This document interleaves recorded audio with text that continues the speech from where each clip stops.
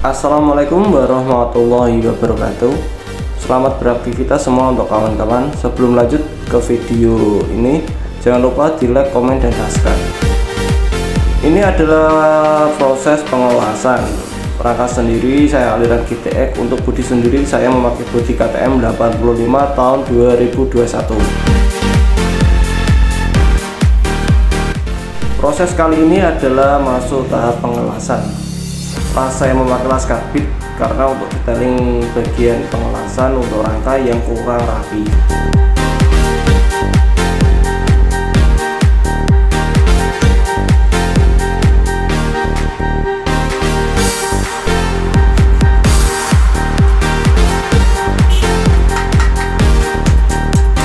Ini adalah masuk proses penambahan plat bagian rangka supaya rangka kelihatan gemuk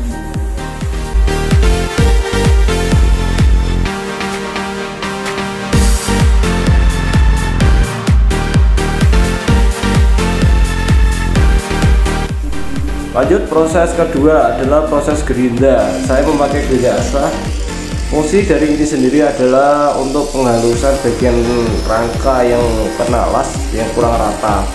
Untuk detailing ini sendiri memakan waktu sangat lama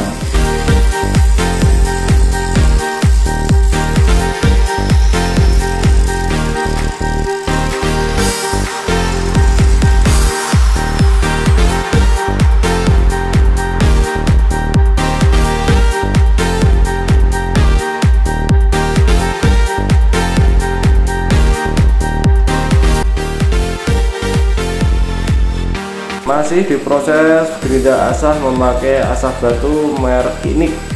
Dan gerinda saya sendiri memakai merek Magtech untuk posisi kali ini diusahakan memakai kacamata karena agar nanti jika ada percikan dari gerinda itu sendiri tidak mengenai mata dan kita bisa safety lah dapatnya menjaga keselamatan kerja.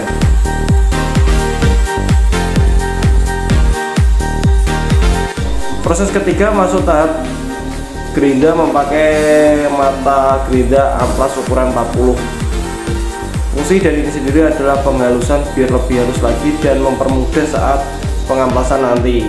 Hasil air tidak mengecewakan.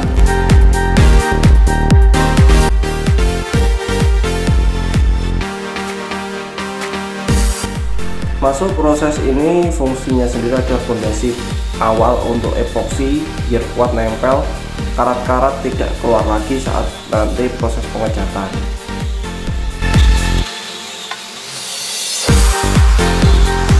Lanjut masuk proses amplas 240 karena posisi ini saya menggunakan air. Diusahakan pengamplasan ditekan-tekan rata ya karena apa fungsi ini sendiri agar karat-karat hilang saat nanti proses epoksi. Fungsi epoksi itu sendiri adalah fondasi pertama atau fondasi awal agar cat kuat nempel dan tidak timbul karat lagi di kemudian hari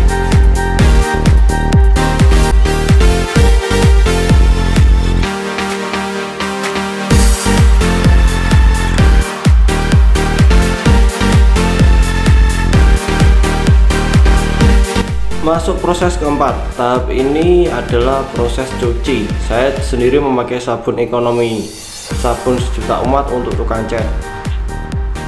Fungsi ini sendiri adalah membuang sisa-sisa kotoran yaitu karat, oli, atau flek lain yang membandel pada rangka ini sendiri.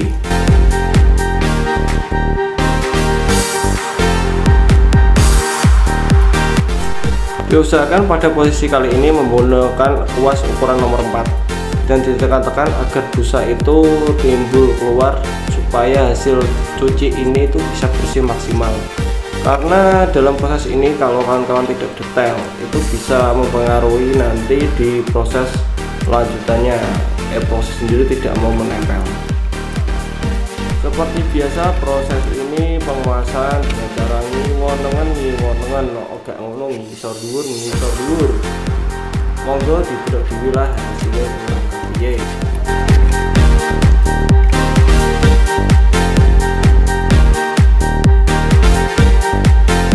lanjut masuk proses keenam. Di sini masuk proses epoksi. Jangan lupa memakai masker untuk jaga kesehatan karena paru-paru itu sendiri mahal harganya tidak dijual di toko sebelah.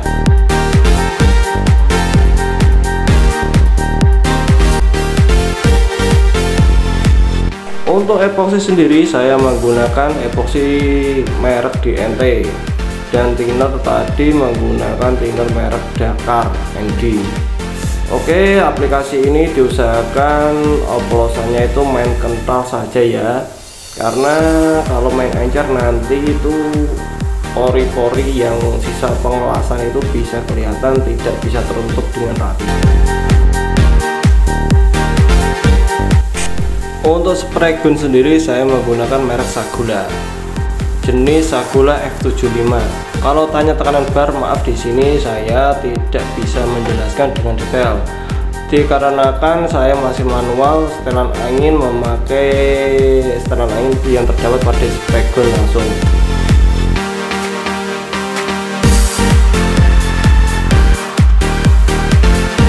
Untuk setelan angin sendiri saya menggunakan sistem main kalem saja. Cara penjemprotan seperti biasa kawan-kawan ngiwonengen ngiwonengen nek ngono ngiso dhuwur ngiso dhuwur monggo didelok TV kurangnya ke piye sepil hasil akhir. Monggo dicek kawan-kawan kurangnya gimana. Cukup sekian dulu ya video kali ini. Dan tunggu video menarik lainnya di episode berikutnya. Wassalamualaikum warahmatullahi wabarakatuh.